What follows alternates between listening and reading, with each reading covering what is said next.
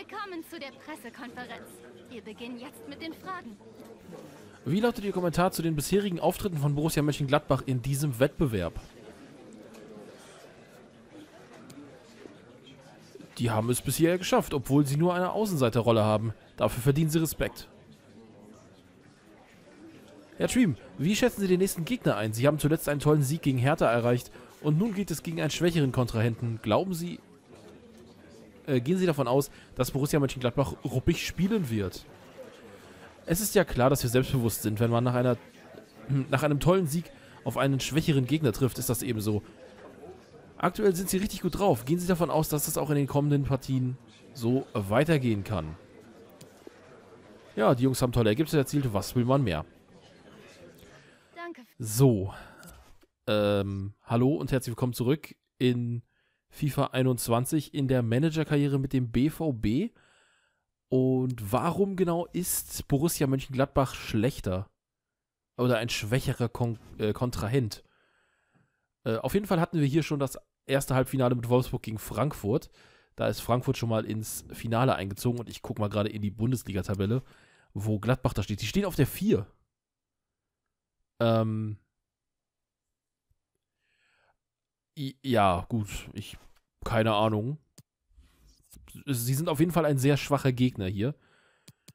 Und wir werden ein bisschen im Teammanagement mal äh, uns umschauen. Junior Firpo bekommt eine Pause. Dafür spielt natürlich Guerrero. Jude Bellingham spielt für Gündogan. Renier startet für Holland. Und ansonsten Eric Garcia für Mohamed Salih Su. Let's go.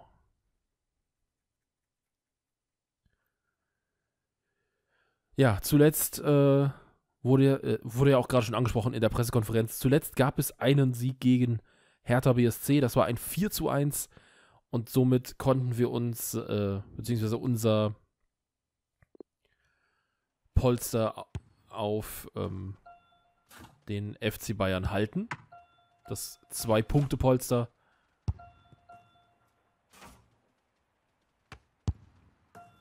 Und noch ist alles möglich. Noch ist es tatsächlich möglich, das Triple hier zu holen.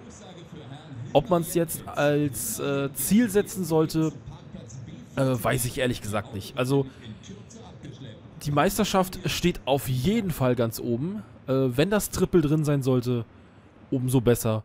Aber dafür müssten wir jetzt erstmal ins Finale des DFB-Pokals -Pokal, äh, einziehen. Und das muss dann ja auch erst nochmal gewonnen werden. Und ja, wir sind im Borussia Park. Borussia Mönchengladbach empfängt Borussia äh, Dortmund. Und die Gastgeber in den weißen Trikots werden beginnen mit Tyram und Sigurdsson und Kramer und so weiter und so fort. Mata. Erster hoher Ball, abgefangen von Emre Can. Son. Das ist Renier, der dreht sich hier nochmal um und nagelt das Ding nur an die Latte. Was für ein schöner Schuss. Und die erste Torannäherung der Partie. Kramer. Ja, verteilt den Ball da auf die linke Seite. Nochmal zurückgespielt. Zakaria. Und Sigurdsson. Zweite Möglichkeit des Spiels. Diesmal auf der anderen Seite. Und das war eine richtig schöne Kombination. Zum Glück trifft Gilfi Sigurdsson den Ball nicht genau. Oder nicht perfekt. Er trifft ihn gut, aber nicht perfekt. Das trifft, glaube ich, ganz gut auf diese äh, Situation zu. Und hier, schönes Zusammenspiel. Son und Bellingham. Son legt die Ball mal zurück. Und Jude Bellingham mit dem 1 zu 0. Nach etwas mehr als sieben Minuten die Führung für Schwarz-Gelb.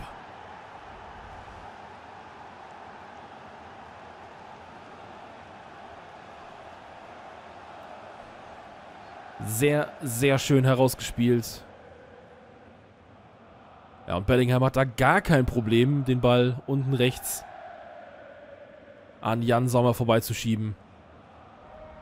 Und das dürfte sein erstes Tor sein im laufenden Wettbewerb. Das ist auch der Fall.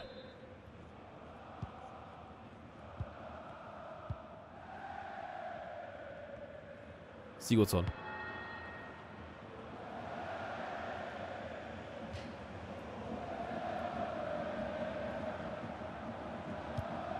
So, und jetzt ist die Frage, spielt man es jetzt ruhiger oder geht man voll auf Offensive? Renier. Ja, schön gespielt hier. Reus, der verbaselt den Ball allerdings. Und jetzt Sigurdsson. Auf Nakajima. Der ist schon im 16er. Und dann muss Birki nochmal ran gegen Tyram. Gewinnt aber auch das Duell und ja, schlechte Verteidig äh, Verteidigung davon Meunier. Patrick Herrmann bekommt nochmal die Möglichkeit hier.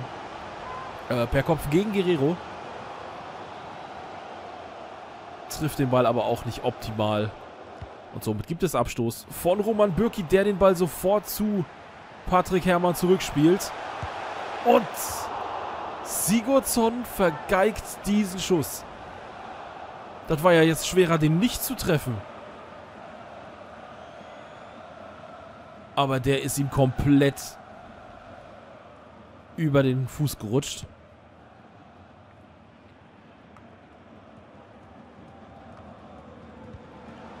Leiner.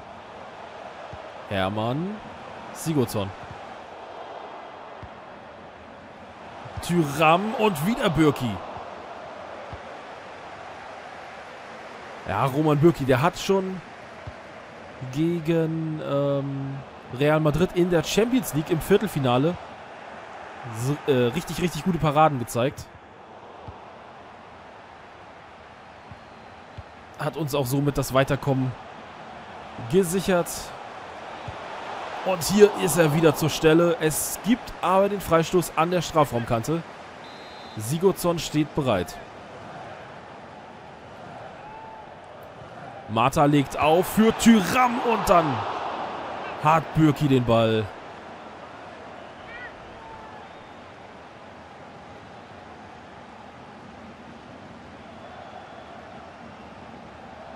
Richtig stark hier vom Schweizer Schlussmann.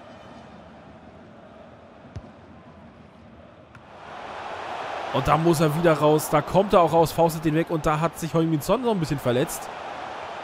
Oh, Zakaria. Und ja, da musste es ja mal passieren. Tyram mit dem Ausgleich. Da konnte Birki jetzt aber wirklich nichts machen. Tyram einfach, ja, gefühlt drei Köpfe größer als Rafael Guerrero.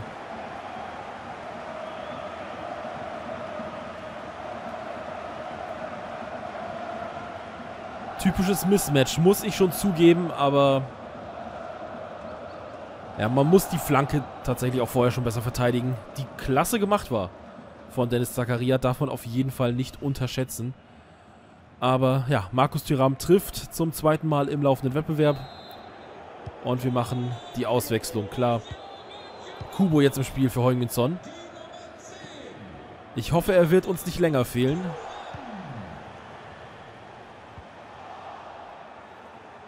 Oh, Tyram. Und Birki.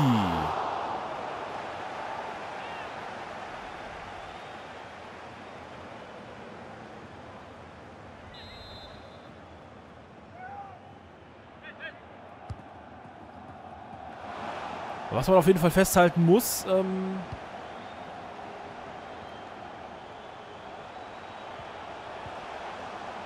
Bellingham hat eine bessere Chancenquote oder Chancenverwertung als Markus Thüram in diesem Spiel. Und jetzt haben wir hier Marco Reus.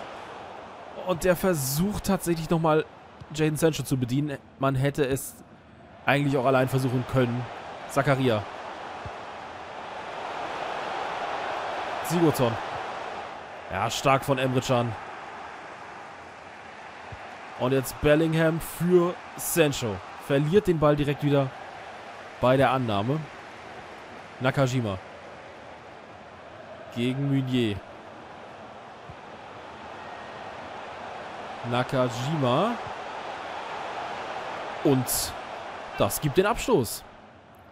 Und ich glaube, wir müssten eigentlich nur ähm, Meunier und Guerrero tauschen. Also einfach seitenverkehrt spielen. Denn Nakajima sieht jetzt auch nicht wie der größte Spieler aus. Vielleicht gleich mal schauen. Kubo. Neu im Spiel und direkt mit der Chance hier. Jan Sommer. Überragend. Und es wird den Eckball geben. Ausgeführt von Marco Reus. Kein Abseits. Marco Reus versucht selber gegen den Ex-Verein.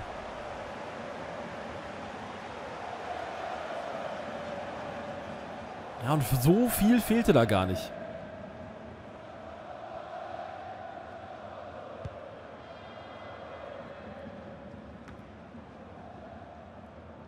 Leiner. Jetzt haben wir hier auf der linken Seite bei uns aber wirklich äh, die kleinen Spieler. Kubo und dahinter Rafael Guerrero. Das ist kopfballtechnisch äh, definitiv eine Schwachstelle. Oh, oh, und jetzt bleibt Sigurdsson da liegen. Und es wird den Freistoß geben für das Foul an Tyram. Aber Sigurdsson wird noch im Spiel gehalten, so wie es aussieht. Marta legt wieder auf. Diesmal Hermann. Aber der kommt nicht an der Mauer vorbei.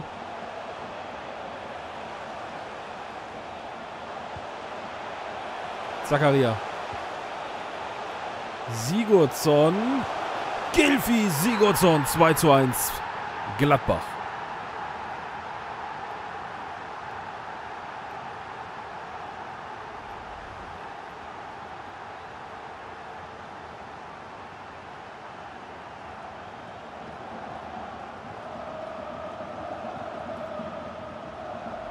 Und das musste ja irgendwann passieren.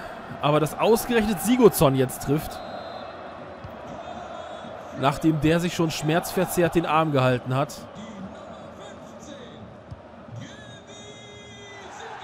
So, weiter Ball für Kubo und Leiner köpft ihn ins Aus. Gibt uns damit, ja, freiwillig oder unfreiwillig, nochmal eine große Möglichkeit, die nicht genutzt wird hier aktuell von Jaden Sancho. Nach Vorlage bzw. Flanke Rafael Guerrero. Nachspielzeit ist auch gleich schon durch. Es wird wohl die letzte Möglichkeit sein im ersten Durchgang hier für uns. Und Leiner verhindert nochmal Schlimmeres. 2 zu 1 also die Pausenführung für die Gastgeber. Und mit dem Weiterkommen sieht es aktuell etwas äh, schwierig aus. Nur 35% Ballbesitz. Und ich möchte aber an der Stelle trotzdem sagen... Ach nee, Quatsch. Wir hatten 36% Ballbesitz gegen Real Madrid. Ähm, ja. Wir stehen aktuell, so, äh, aktuell also ein bisschen schlechter da. Jetzt möchte ich die beiden mal tauschen. Und dann äh, müssen wir mal so ein bisschen so ausweichen. Dann geht Guerrero auf den Link, äh, ins linke Mittelfeld. Wir ziehen Garcia nach links. Also als Linksverteidiger jetzt. Und Salisu darf in die Innenverteidigung rücken. Und ansonsten Renier runter und Erling Haaland rein. Für ein bisschen mehr Offensivpower da vorne drin. Zweite Hälfte geht los. Und wir schauen mal, ob Gladbach vielleicht noch gewechselt hat. Nein. Uns werden zuerst unsere Wechsel da oben angezeigt. Das bedeutet keine Wechsel auf der Seite von Borussia Mönchengladbach, die jetzt hier wieder direkt offensiv zu Werke gehen. Zakaria. Tyram und Sigurdsson. Ja, erste Aktion von Salisu. Und dann ist es Zakaria, aber der stand im Abseits. Abseits Dennis Zakaria. Und das war wichtig.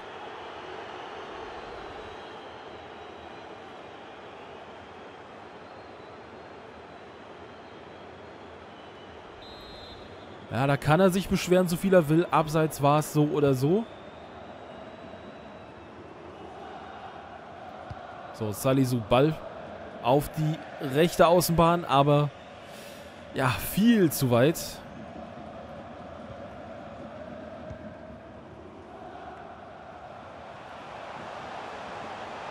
Und jetzt äh, Chachi, Kachi, Chaki, ich weiß es nicht.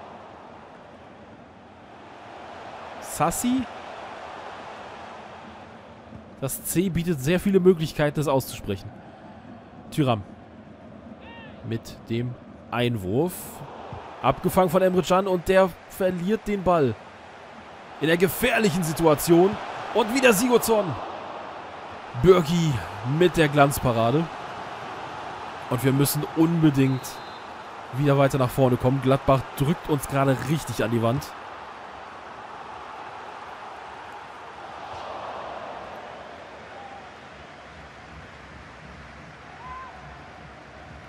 So, Sigurdsson verlässt jetzt das Feld. Für ihn kommt Benisch, wenn ich es richtig gesehen habe. Ja, Benisch jetzt im Spiel. Und mir fällt mal gerade auf, wie dämlich das gerade überhaupt war, in der Halbzeitpause Kubo wieder rauszunehmen. Den hatten wir doch gerade erst eingewechselt. Naja.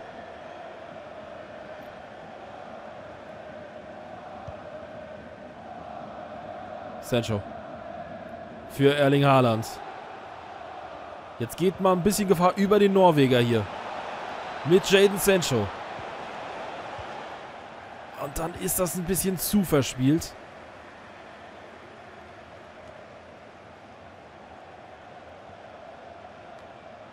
Meunier. Reus hält den Ball.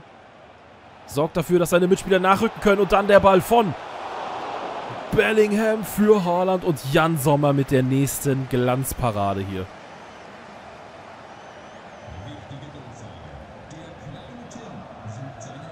Und der kleine Tim sucht seine Eltern. Das war jetzt auf jeden Fall wichtig zu erfahren. Salisu mit einem Versuch. Flanke sofort von Guerrero. Aber Einwurf an der Stelle nochmal für uns.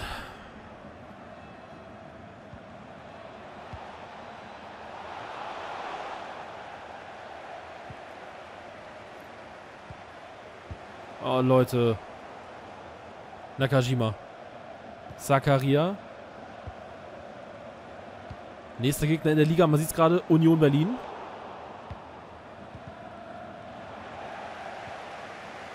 Meunier. Oh, gute Aktion von Reus und jetzt Haaland. Der da die Nerven verliert. Beziehungsweise Nerven zeigt. Guerrero. Sommer vor Haaland.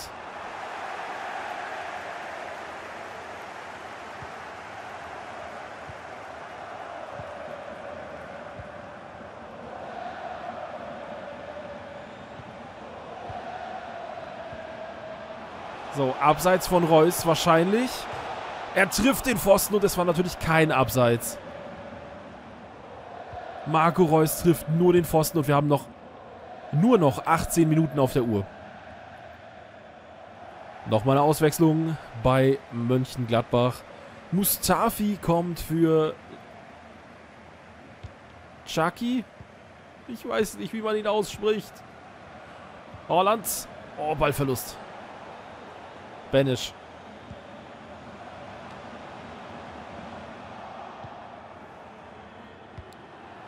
Birki mit einem weiten Schlag nach vorn.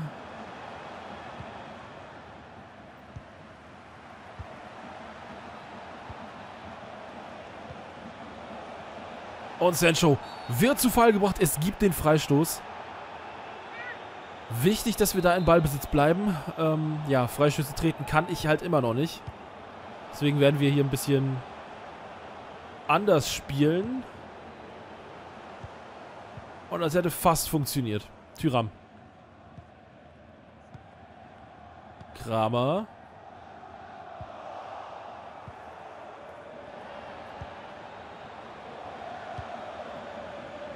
Okay. Noch 10 Minuten auf der Uhr. Wir bekommen einen Abstoß.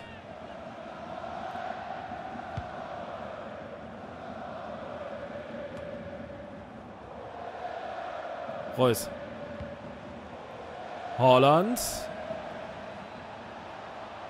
Nochmal Reus. Und der hat jetzt darauf vertraut, dass Haaland lossprintet. Aber der Norweger holt sich hier den Ball aus der Verteidigung. Reus legt zurück und Sancho nagelt das Ding in die Maschen. 2-2.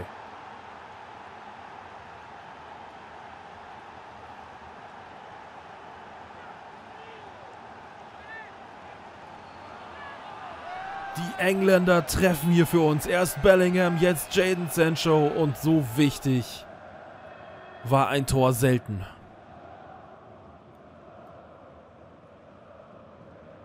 Sehr guter Laufweg auf jeden Fall von Sancho, der mit diesem Ball von Reus tatsächlich gerechnet hat.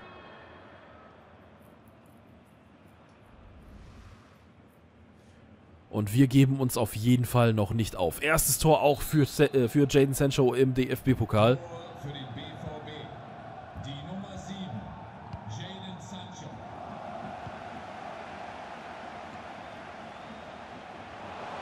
So, Hermann. Salisu. Ja, entweder... Ich wollte gerade sagen, entweder kommt Guerrero noch dran oder Ähm, es gibt den Einwurf, es gibt den Einwurf und jetzt geht Dennis Zakaria vom Feld. vom Feld. Und für ihn kommt Jonas Hofmann. Sehr gut zu wissen. Und jetzt Sancho.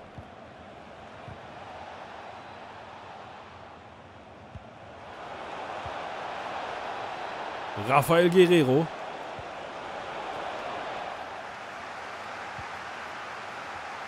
Hofmann. Tyram. Oh, äh, stark. Ich wollte ich wollte eigentlich sagen, stark gemacht von Hummels, aber stark gemacht geht natürlich auch. So, der Ball landet im Aus.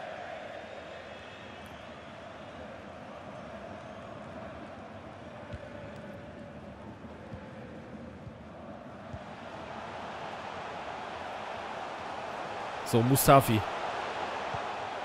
Bekommt die Flanke immer noch äh, über... Äh, meine Güte, bekommt die Flanke hier in die Mitte. Aber sie wird nicht mehr gefährlich und es geht tatsächlich in die Verlängerung.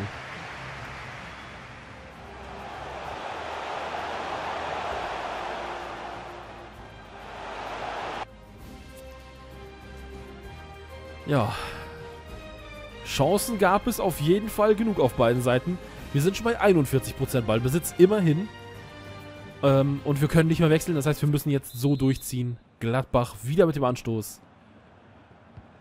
Da ist jetzt noch Valero für Nakajima ins Spiel gekommen. Und jetzt wird es natürlich wichtig sein, wer hier die zweite Luft noch äh, ja, aktivieren kann. Tyram. Oh, super unnötig hier von Garcia da noch so nachzusetzen. Der Ball wäre eigentlich weg gewesen, aber es gibt auch gar keine Karte. Sehr, sehr gut. Danke, Schiri.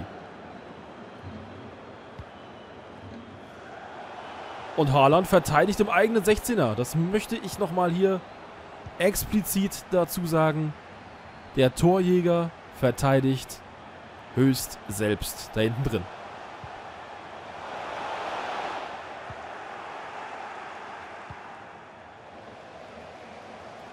Leiner. Martha. Und der nächste Fehler davon Garcia. Alles gut, Bellingham. So, starkes Zusammenspiel hier generell der Vorder... Äh, Vorder... Äh, vor der Männer. Kein starkes Zusammenspiel auf jeden Fall. Was mein Labern hier angeht. Und wieder eine wunderbare Parade von Jan Sommer. Der lässt Haaland hier wirklich verzweifeln. Jetzt Kramer.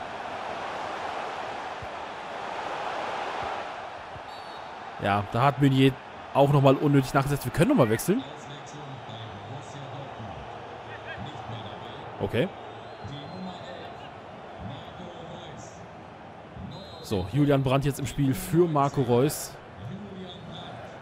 Und diesmal versucht Tyram es selbst und Bürki hält den wunderbar fest.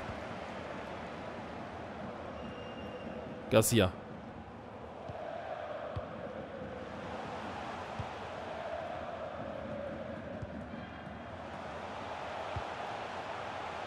Tyram. Und wunderbar gemacht hier von Salisu, diese Gerätsche.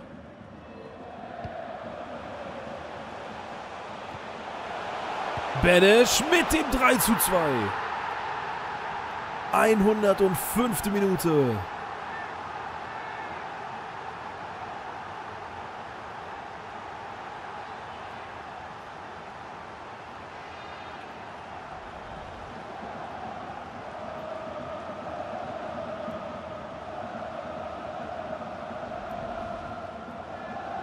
Laszlo Benisch.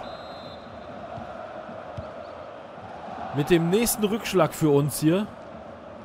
Und jetzt geht Haaland äh, hier selbst durchflügt durch die Verteidigung. Äh, versucht es zumindest. Und Hermann. Die erste Halbzeit der Verlängerung ist durch. Verdient wäre es auf jeden Fall für Gladbach. Die machen viel, viel mehr äh, ja, die machen viel, viel mehr fürs Spiel. Und man sieht hier, Ballbesitz ist bei uns wieder runtergegangen auf 38%. Das könnte sich in der zweiten Hälfte der Verlängerung vielleicht nochmal ändern. Und zwar genau so. Sancho. Und da sieht man schon, Haaland startet durch, die Flanke kommt und... Ja, Haaland bekommt zwar die Chance.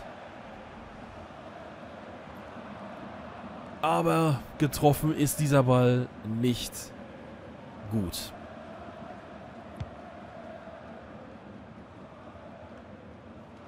Brandt. Julian Brandt. Steckt nochmal nach vorne für Haaland. Ja.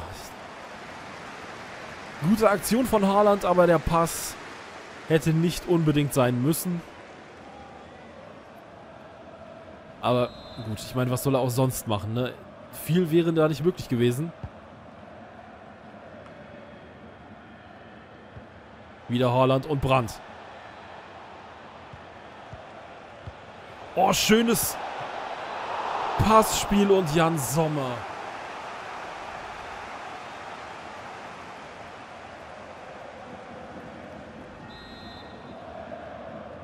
Jaden Sancho. Ja, Banish davor Salisu. Und da kommt Roman Bürki raus. Das wurde jetzt nochmal knapper als erwartet. Äh, Tyram, da ordentliche Meter gut gemacht noch.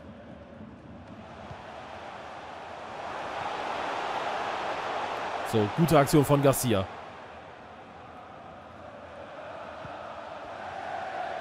Brandt. So, kein Abseits hier von Jaden Sancho. Der nochmal in den Rückraum legt. Valero. Tyram. Hermann. Gut gemacht von Hummels.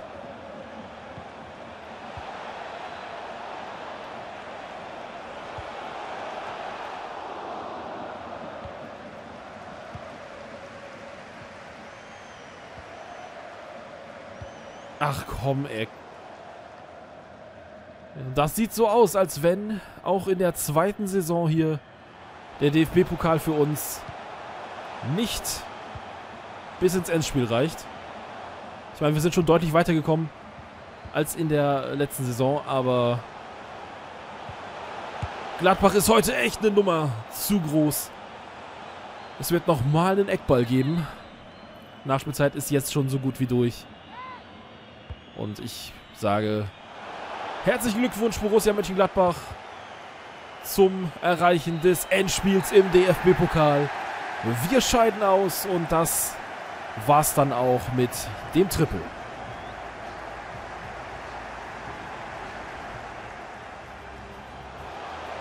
Ja, aber wirklich, das war eine unfassbare Leistung hier. von Borussia Mönchengladbach. Wir haben so viele Chancen gehabt, so viele davon vergeben und Jan Sommer war einfach überragend heute. War nichts anderes zu machen. Und da sieht man es auch. Nächste Runde Frankfurt gegen Mönchengladbach, beziehungsweise im Finale Frankfurt gegen Mönchengladbach, so wie es auch am nächsten Bundesligaspieltag aussehen wird, wenn wir auf Union Berlin treffen, hat Frankfurt äh, Gladbach zu Gast. Da gibt es dann schon mal einen kleinen Vorgeschmack eben auf dieses DFB-Pokalfinale. Und jetzt das Danke, Interview. Dass Sie für ein kurzes Statement hier sind, so kurz nach dem Spiel.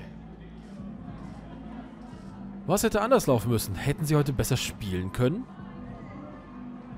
Ehrlich gesagt, befür ich befürchte, wir hätten nicht besser spielen können. Ähm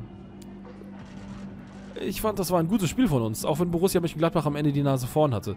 Nächstes Jahr bereiten wir uns besser vor und dann wird auch, eine, äh, auch unsere Leistung äh, besser. Es sah ganz nach einem Unentschieden aus, aber sie haben ein spätes Gegentor kassiert und verloren. Äh, was ist passiert und was hätte ihr Team besser machen können? Sie haben den Sieg natürlich verdient, keine Frage. Wir hatten Chancen, wieder ranzukommen und es roch nach einem Remis, aber Borussia Mönchengladbach wollte den Sieg einfach mehr. Äh, Viele waren erstaunt, dass sie Garcia heute als linker Verteidiger gebracht haben. Wie fanden Sie ihn auf dieser ungewohnten Position?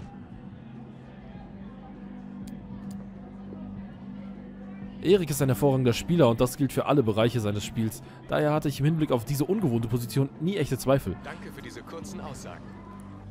Naja, gut. Wenn man jetzt mal den Kontext betrachtet. Oh nein, ernsthaft. Das wird jetzt echt zur Diskussion. Hallo Boss. Es wird viel über meine aktuelle Position geredet. Ich wollte Ihnen nur versichern, dass ich alles tun werde, um mit der Mannschaft Erfolg zu haben. Wenn Sie es wollen, dann spiele ich gerne als linker Verteidiger.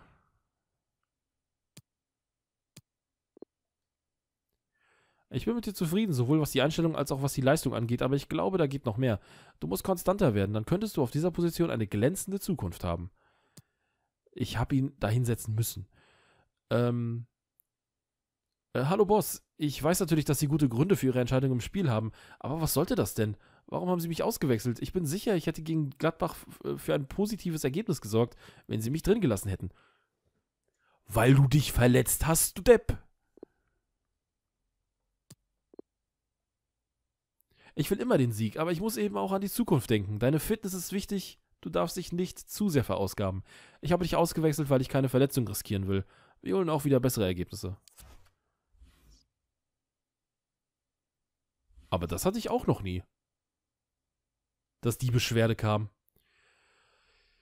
So, nächstes Spiel gegen Union Berlin. Die sind aktuell auf Tabellenplatz 17. Und wir schauen mal ganz kurz, gegen wen die Bayern ran müssen. Ähm, gegen Bremen. Ja, machbares Spiel auf jeden Fall für die Bayern. Das heißt, bei uns muss mindestens ein Unentschieden rauskommen gegen Union Berlin. Äh, aber eigentlich ein Sieg, wenn wir mal ehrlich sind. Und danach, man hat es gerade schon ganz kurz in der Vorschau hier gesehen, geht es im großen Wettbewerb in der Königsklasse in der Champions League weiter gegen Manchester City. Das ist echt kein angenehmer Monat hier. Der April tut wirklich weh und die Mannschaft, ja, sie ist in Ordnung. Ne? Also Hummels muss jetzt auf jeden Fall aussetzen. Ich glaube, Sancho können wir auch runternehmen. Chan äh, kann auch sein Päuschen haben.